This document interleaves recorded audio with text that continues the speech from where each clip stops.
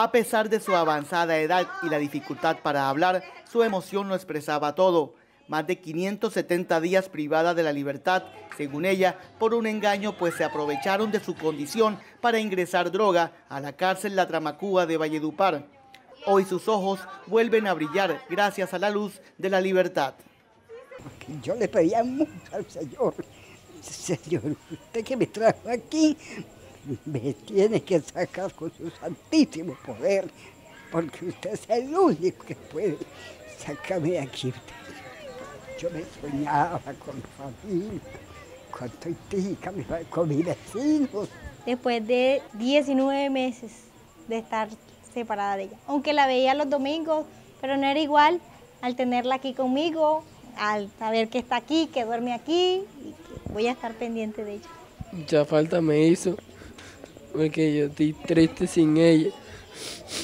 La ser a mi abuelo, ya quedó ella y por eso ya. Con su voz entrecortada, María recuerda que siempre fue bien tratada por las compañeras de patio y hasta llegó a ser la abuelita del grupo. Sin embargo, nada podía compararse con el deseo de estar de nuevo en su hogar. Me querían mucho, me dieron cuenta, me ayudaban, me muchas, varias, que era la, abuelita mejor. Porque a mí me faltaba yo estar aquí en mi casa, con mis hijos, mi familia. Tras las rejas, celebraría su cumpleaños número 82, sin saber que el deseo de libertad que pidió se cumpliría muy pronto.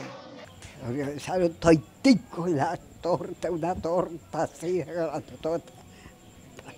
Padre, así es, estaremos allá.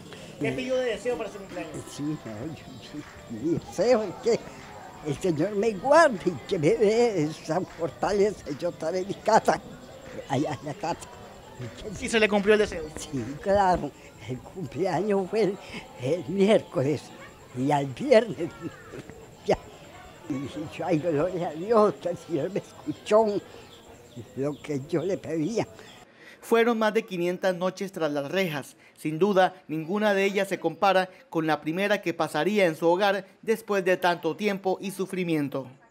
Ya, ya, ya me tengo que dormir con el televisor así, pegadito de mi cama. Con el televisor ahí, y esa bulla de noche se moja, y es un solo tormento. ¿Y ahora sí podrá dormir? Ah, ocho ahora sí. sí, pero todo muy tranquila. Aquí casita, camita. María Dabey Batafur fue cobijada con la medida de detención domiciliaria. Ahora la lucha de su familia se centra en demostrar su inocencia.